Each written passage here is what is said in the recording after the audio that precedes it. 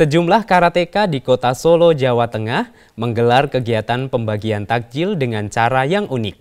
Kegiatan bernama Cegatan Dompet Kempes ini melakukan razia belasan warga untuk diberi takjil dan bingkisan gratis.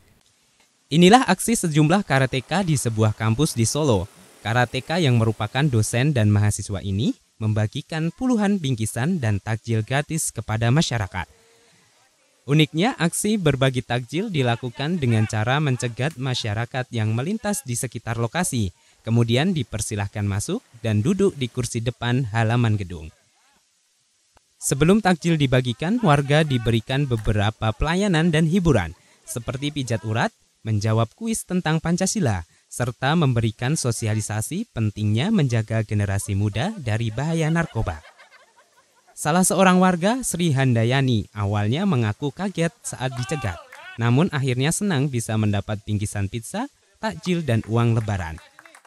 Saya Iwan dicegat itu. Terus? Terus suruh mampir ke sini. Katanya dikasih apa? Katanya dikasih dikasih takjil. Katanya dikasih takjil ada perjalanan kadir di situ. Menurut inisiator kegiatan Rizky Ekanti, Aksi ini mengajak mahasiswa untuk berbagi jelang lebaran dengan menampilkan poster cegat dompet kempes saat Idul Fitri.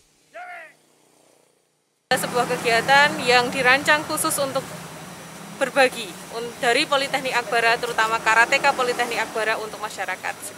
Pihaknya berharap dengan adanya acara ini akan terjalin keharmonisan dan bisa lebih dekat dengan masyarakat luas. Dari Solo, Jawa Tengah, Muhammad Hasan melaporkan.